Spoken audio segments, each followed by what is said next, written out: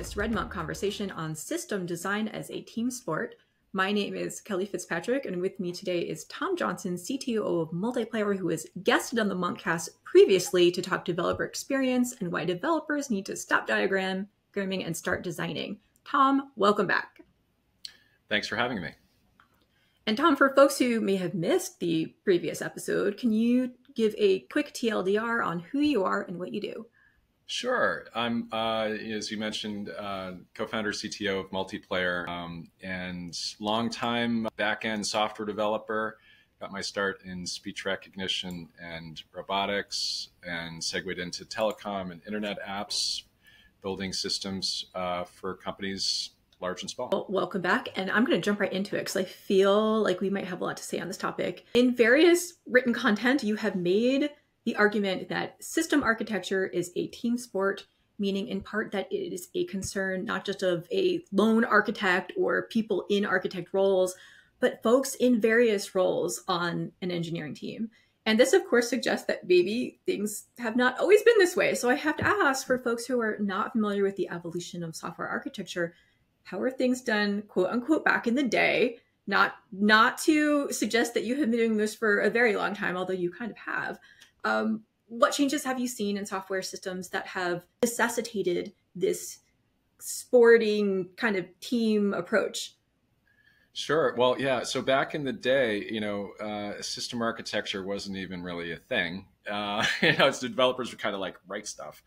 And then you discover like, well, maybe there should be an overarching view of the software as you know, as things be, started becoming more distributed and more components connected together you would see a system architect role somebody who would decree, you know, from high above the way the architecture would be. Uh, that was okay when things were simple, teams were simple, everybody was in the same room, and you know, clear division of responsibilities. But today it's completely different. You have complex software. Uh, you have fast changing software. You have teams that are distributed. You've got separate roles for a lot of different people. Um, and it's just, you can't have one person in charge of all that anymore. Plus, you know, it's better that everybody is involved in understanding of, the, of this complex system. It's just impossible to have it all in one person's head. So it's, it's a requirement now I think that that everybody knows how their software, even if they're focused a little bit, fits into the bigger, uh, bigger puzzle.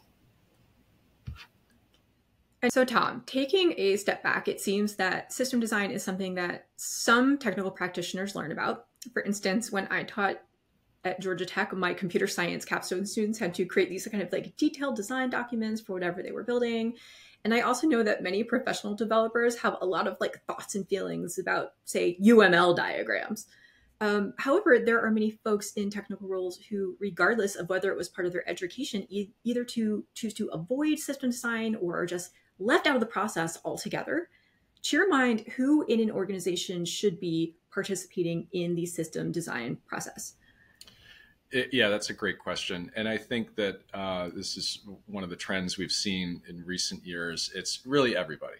Everybody has to have an understanding of the system. They're just too complex for one person to, to know everything about and sort of dictate how changes must happen. Things are fast moving you as a software developer, you might be focused on one part, but you really need to know how it fits in, what depends on it, what your dependencies are, scaling issues, security, things like that. So it's, you know, plus there are, you know, the other benefits for, for everybody knowing about uh, system design and understanding how to do it. You know, you have a better understanding the overall like application you're working on. You can collaborate more effectively with your peers. Um, you can be more proactive with things and spot maybe design flaws or bottlenecks and that requires a higher level understanding of like how software fits together and you have to take yourself out of just the code for your single component and go higher level 10,000 foot view and look down and understand how things uh, work together I love that idea of taking yourself out of the code for your single component because, in addition to thinking of the different pieces of, say, a project or a product, uh, often what we see is that knowledge across teams about what is happening also can be very siloed. Uh, so it, it almost sounds to me that this approach to system design is also a way of kind of breaking down some of those just communicative or Yep. like very practical silos that we see. Absolutely, and and and that's a must-have. Uh, you, you know, software these days is also not like all developed in-house by one team. You know, it's now if you're part of a reasonably sized company, you probably have multiple teams. You might have multiple platforms. You might have APIs you provide to each other. But you also probably have you probably didn't write all the software in-house in that company, and you've got pulling in a SaaS provider for this and a cloud provider for that there's more assembly and composing of, of platforms from pre-built services open source components uh, other things. And that creates complexity dependencies and that's a distributed system. You have to know how things talk to each other how things scale. It's just it's a requirement that that everybody involved knows about distributed systems patterns best practices and things like that And I also feel that in terms of who knows what about what, um, patterns that I've often seen are that there's like one person who knows how to do this one thing. And Yep. should they decide to move on to a different role, yes suddenly everybody else is like scrambling to, to figure out like what it is that they used, you know, that this person used to, to do. Yeah, and you know that that brings up you know one of the important things of, of system design, which is having a great source of truth, having great documentation about your system, so that the knowledge in the person's head, as valuable as it, can be, as important it is for you know for the understanding to be in people's heads.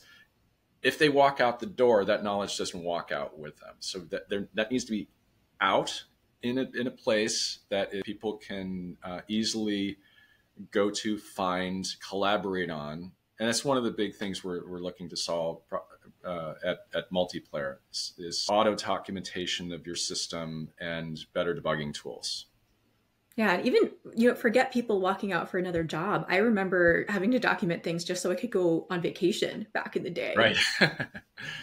Absolutely, yeah. So it, you know, it has so many so many benefits to get uh, you know to get information out of out of your head. Uh, you know, redundancy, just being able to take a break. You know, being able to move on to another position, work on something else, share it, not be the sole person responsible for the thing that you just developed, and you know, to be able to hand that off and, and share the responsibilities. There's just there's so many benefits. You know, first of all, everybody knowing about how to do system design, but also having a source of truth, great documentation, great tools for debugging. Take the manual work out of like discovery and tracking out of it, so you, you don't. It's just not more grunt work for a developer to do. That if it's grunt work, it doesn't get done. It gets done quickly, probably mistakes. And we've all. This is the frankly the current way things are are uh, for for teams. Just manually documenting things sifting through APM data for evidence of a bug, that kind of stuff. And I've been burned by those things, and I've spent too much of my life, hours, weeks, months of my life. I'd like to get back. Uh, because there was no other alternative. So we're looking to, to solve that those problems. And I feel like anyone who's been in this industry for a while has that list of, of I remember when this happened and I'm never getting those hours back. Absolutely. Oh boy, you talk about uh, it's funny, you know, documentation seems like a boring topic, but once you talk talk to somebody about like, okay, you know, how do you keep track of? Do you have a system architecture diagram that's up to date? They're like, no. Okay, what what has happened as a result of that? And there, you just people open up like a therapy session, like the horror stories. Everybody's got horror stories of of like changing something, breaking this, or not knowing that this was there, and scaling issues or crashes for not having that great source of truth. Yeah. Yeah, and I um I used to work at a startup where we had we would have it was called the beer of shame and if you broke the build you that you would have that on your desk until the next person broke the build. It moved around a lot but I, I feel like often these things would would happen because of exactly what you're describing because of of just like lack of updated things and being able to get to Um, yeah, and you know, I've I've seen that too. And you know what? And there's also a collaborative element to this communication. So it's like source of truth plus being able to share the information. So design needs to be a team sport. Everybody should know all the things or be able to access this information easily. Know that there's uh, it's it's it's factual, but also to be able to communicate about it. Communicate because design and development is you know a lot of the problems I see are, are, are communication problems. You know, design should be like a team sport where communication is really easy. You're you're basing your you know decisions and designs on, on knowledge that is factual and source of truth, and you can work together, um, you know, a, as a team. So I buy into this kind of team view of why everybody should know system design from an individual practitioner point of view why is it important to know system design? And is this something that that can help folks get a job? Yes. So abs- it can absolutely help you get a job. In fact i think the interviewing process has evolved over time. Uh, yes you still get those questions about like code this in javascript or rust or whatever where you know you're, you're getting tested on your knowledge of a particular language. But I find that interview questions, and uh, I've shifted more toward uh, how do you build this app? Or how do you scale this system? Or how do you how would you solve this problem that's high level? And that's all about system design. You have to take the big problems split it up into smaller problems solve those smaller problems and that's usually a collection of software talking to it. You have a distributed system. So so understanding that is is super important to get a job.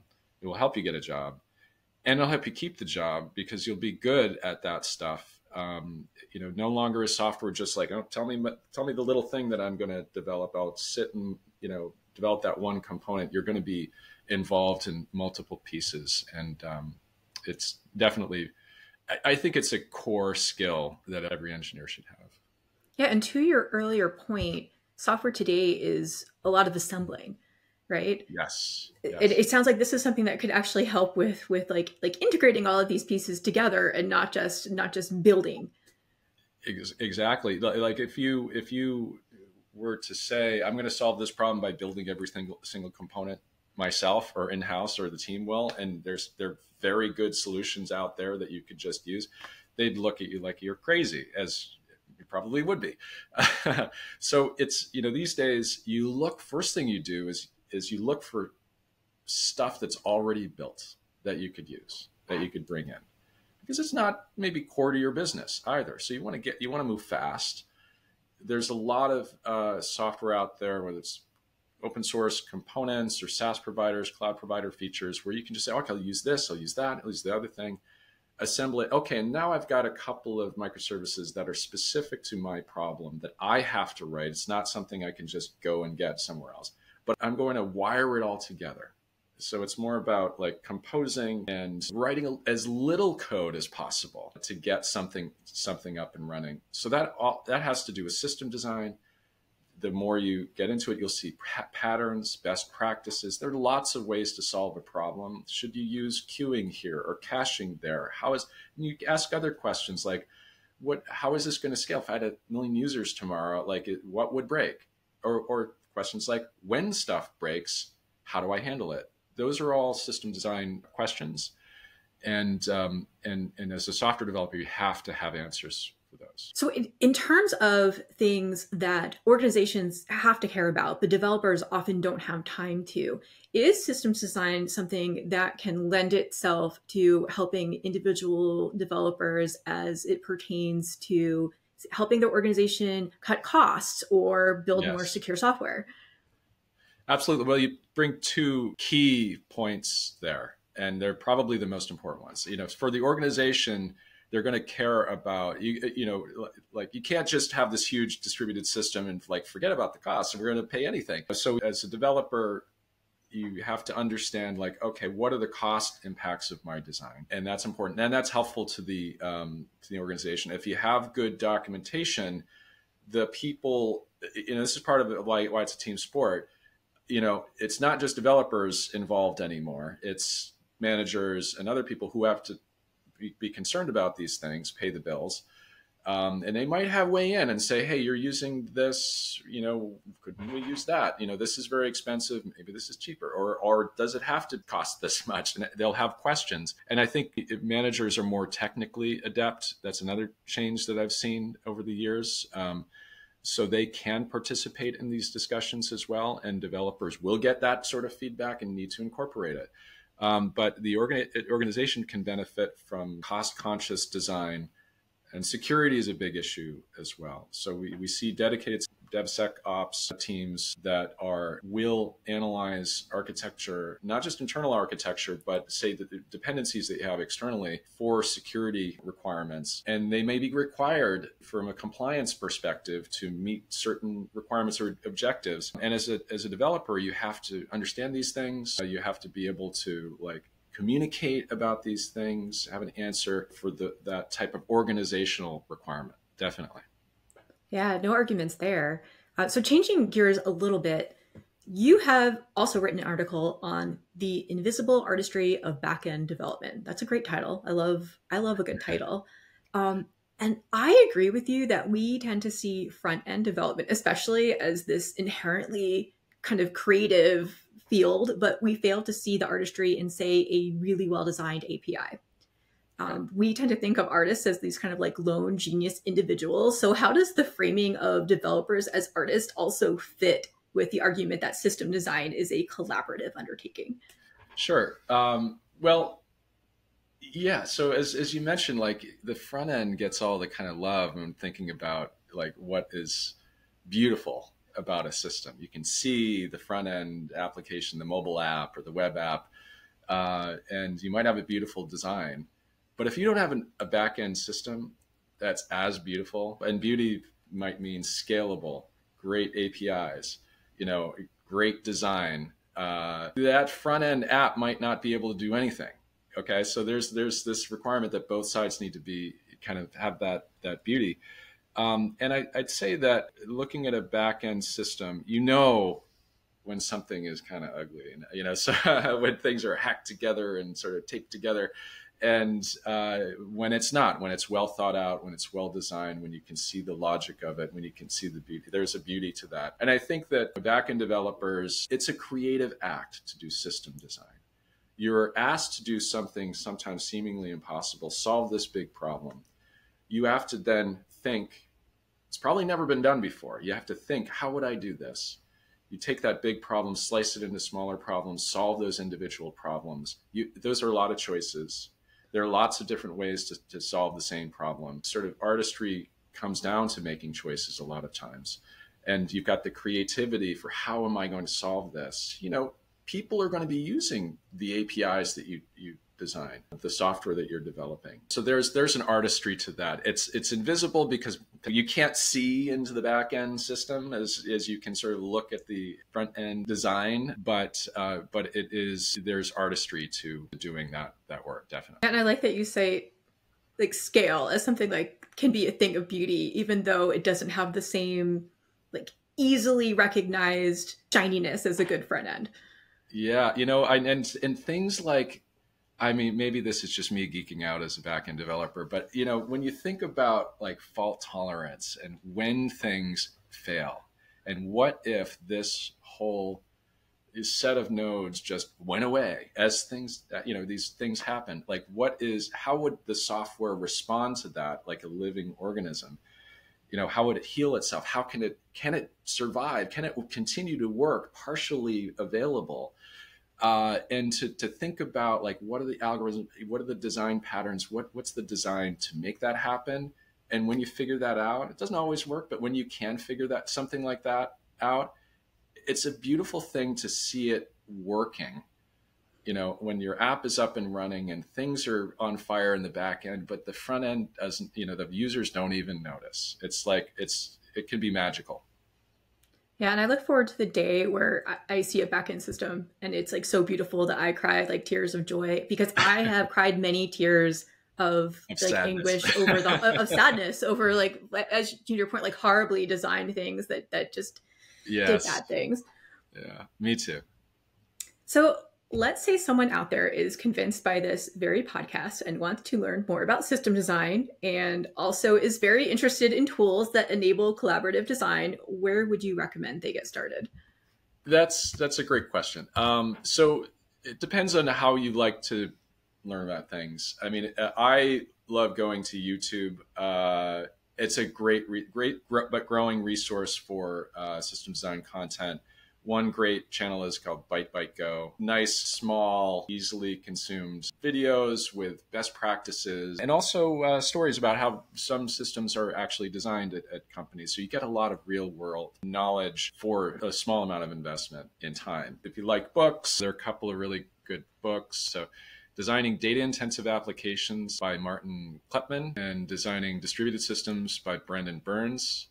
Uh, there are also some great newsletters like the YouTube content where these um, you know newsletter providers have real experience and share it and you get to hear you get to sort of read about the like the war stories and the horror stories and and things like that that that are really you can only get from real experience and it takes time as a developer to get that yourself so that it's so uh, one is uh, System Design Classroom by Raul Junco and uh, Algomaster by Ashish Pratap Singh. Um, and I think I'm pronouncing the names correctly, but forgive me if I'm not. Well, but, we'll try to get uh, some links in the show notes too. Yeah, that's that's great. And, uh, and John Hodges wrote uh, notes on distributed systems for young bloods, uh, which is which is good too. Great. And final question for you, Tom. How can folks hear more from you and from multiplayer?